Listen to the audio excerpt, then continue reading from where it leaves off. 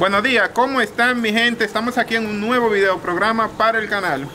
Para apoyar el canal algo fácil y sencillo, le pueden dar like y compartirlo con sus amigos. Arrancamos por aquí en lo que es este nuevo video. Estamos tempranito, ustedes saben que estamos en invierno y cuando estamos en invierno tenemos que limpiar todos los estanques para que los peces estén saludables. Bueno, el día de ayer algo que quiero compartir con ustedes, siempre cuando nos metemos en los estanques, es normal que a la hora de estar atrapando los peces se nos peguen lo que son sanguijuelas, la sanguijuelation. Se me acaban de pegar, aquí se me pegó una sanguijuela, vamos a ver. Si se puede ver, ¿se puede ver?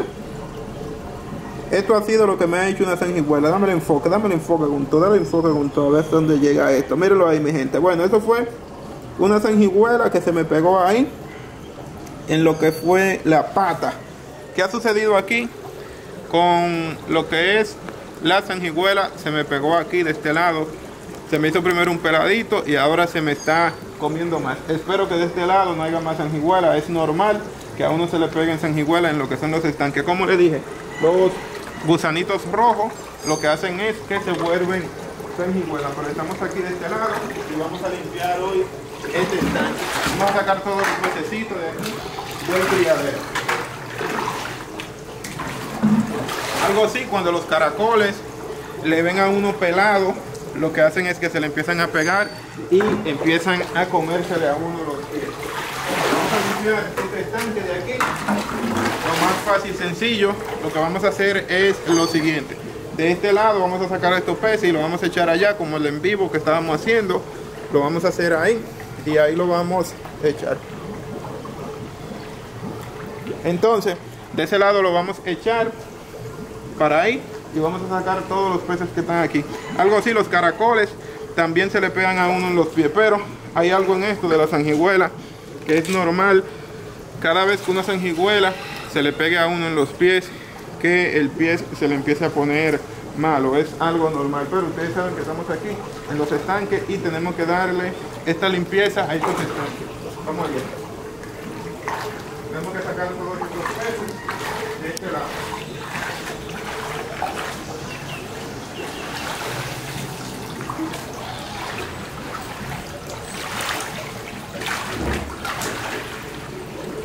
Es que estamos aquí. Esta vez lo que vamos a hacer es que lo vamos a sacar todos de aquí. Estos son los míticos tetras. Lo pueden hacer de dos formas o de varias. Bueno, hay varios que crecen más que otros. Un super truco de esto, que los tetras que crecen más son las hembras normalmente. Los machos crecen menos. Ejemplo, fácil y sencillo. Identifica tu pez tetra si es macho o hembra. Mírenlo ahí. Hembra, macho, el más chiquito siempre. Los machos siempre son más chiquitos y más delgaditos. Ahí lo pueden identificar con facilidad. Así se pueden dar cuenta cuál es el macho y cuál es la hembra. Estoy, aquí yo estoy mocatel caballo blanco. Porque no quiero que se me pegue ningún tipo de, de animal por aquí. Vamos a ver.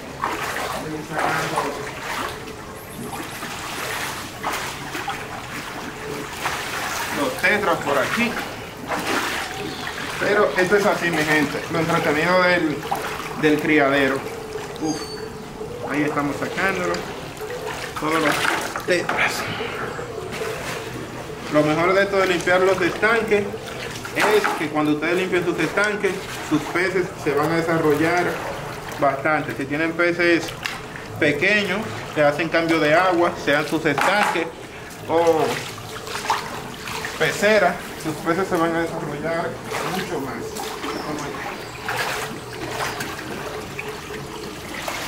Los peces más fáciles de sacar normalmente son los peces tetra. Aquí tenemos también unos goldfish que lo podemos ir sacando. Miren lo bonito que están los tetras.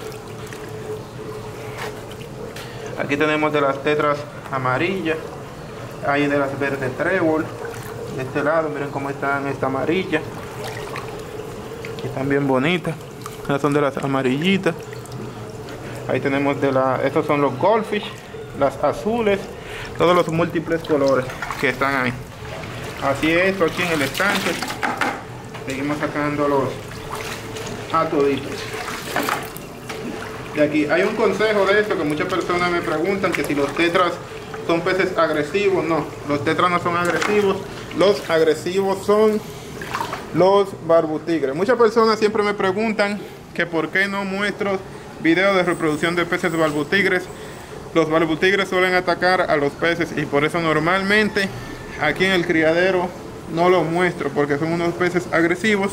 Entonces, hay personas que no te lo dicen, pero yo te lo digo. Estoy moca después de la sanguijuela. Se me ha puesto malo el pie. Se me ha puesto malo. Miren cómo está el pie. El pie o la pata. Vamos allá. Está bien pelado. Está bien pelado. Bien pelado que está el pelado. El pelado aumentado. Bueno, mi gente. Entonces, los barbutigres no los recomiendo mucho tenerlo en sus acuarios porque en los acuarios se te pueden comer todos tus peces. Siempre recuerda esto, cuando vaya a echar barbutigre ponlo aparte o si lo puedes mezclar con tetra, pero tiene que tener en cuenta, amar barbutigre o barbu, le puedes decir barbus o los barbutigres, mientras más barbutigres tengan en un acuario y tengan un ejemplo con peces goldfish, ellos te atacarán a tus peces goldfish. Eso nunca falla, siempre viven atacando a sus peces goldfish. Eh, una duda que muchas personas me, siempre me hacen en los videos que si es normal que los peces se mueran en un estanque es algo normal no es que se mueran. En los estanques los peces viven en lo que es más o menos una batalla totalmente porque hay muchas plagas tanto como son libélulas los murciélagos los martín garcía llegan a pecar los mismos recongos llegan a los estanques y suelen atacar a todos los peces la hora mayormente de los Martín García venir a atacar a los peces en hora de la noche y los recongo, porque en esa hora los peces, muchas personas me preguntan que si los peces duermen, los peces se ponen en suspensión, entonces en esa hora, cuando los peces están tranquilitos así de lado, ellos lo que hacen es que agarran y le entran el pico y se lo pueden comer con más facilidad. Por eso siempre en hora de la noche escucharemos esas bestias, estas, esas bestias humanoides atacando a nuestros peces. Pero es algo común. Recuerden esto, que eh, uno de los principales, eh, muchas personas me dicen que si los caracoles limpian, si los, los caracoles limpian los estanques, te pueden limpiar el limo, pero hay un dato de esto, ah bueno miren, a ese, ese caracol se le fue todo por dentro, mírenlo a ese caracol se le fue todo por dentro, a ese caracolcito ahí, pero hay un dato de esto, de que los caracoles son uno de los principales limpiadores aquí en el triadero. Si hay un pez, un ejemplo que se vira, los caracoles lo que harán es que se lo van a comer. Algo normal y común encontrarlo en un estanque o en un criadero. Bueno, aquí tenemos esto. Están aquí. Seguimos sacándolo. Bueno, un pececito guppy. un guppy infiltrado. Un guppy infiltrado. Vamos a ver si se puede ver el guppy. Un, un mítico guppy infiltrado. Vamos a ver. Vamos a ver si se puede ver este mítico guppy. Esta es la forma más cómoda de ustedes sacar todos sus pececitos. Vamos a ver dónde está el legendario guppy que lo veo ahora mismo. ¿Dónde está el mítico? Y el mítico guppy. Ok. El de ahí, Sherlong, de donde esté. Se ve nítido. Pero dónde está el mítico guppy. Ese es uno de los guppies que tenemos por aquí. Miren qué chulada de pez guppy. Y así de bonito está. Bueno, así que estamos por aquí. Vamos a seguir sacando los demás peces. Entonces, esta es la forma más segura. Si tienen un si tienen su estanque de peces para ustedes agarrar y limpiar sus estanques, un consejo súper fácil que les voy a dar es tener tener piscinas plásticas. Pueden tener las piscinas plásticas son bastante cómodas y económicas.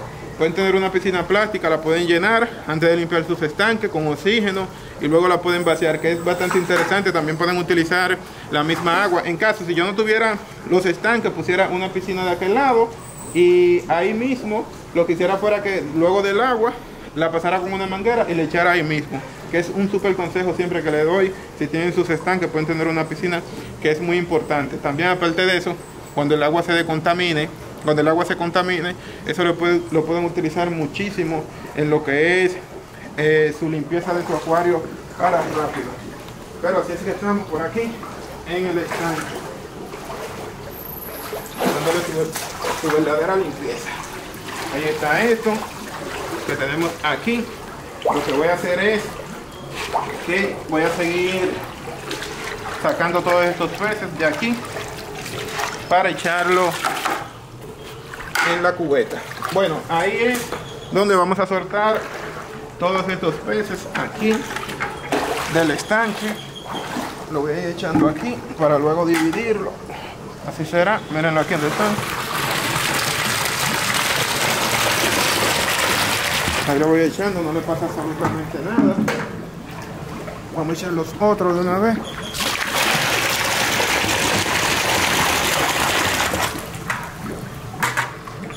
Y así es como estamos. Bueno, falta esta otra.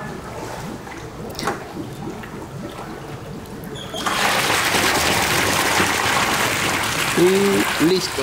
Bueno, ya ahí de esa forma agarré y saqué una parte de los peces. Voy a seguir limpiando el estanque. Y ustedes saben cuál es el proceso del estanque. Así que cuando tengan sus estanques tengan mucha cuenta de que no se les vaya a pegar una sanguijuela. Bueno, mi gente, hasta aquí fue el video. Si el video les gustó, recuerden darle like, compartirlo con sus amigos. Y muchas gracias a todos por su tiempo. Pasen buenas, se lo agradecen. Nos vemos en otro video. Hasta luego, hasta la próxima. Así es, mi gente, seguiré limpiando este estanque aquí.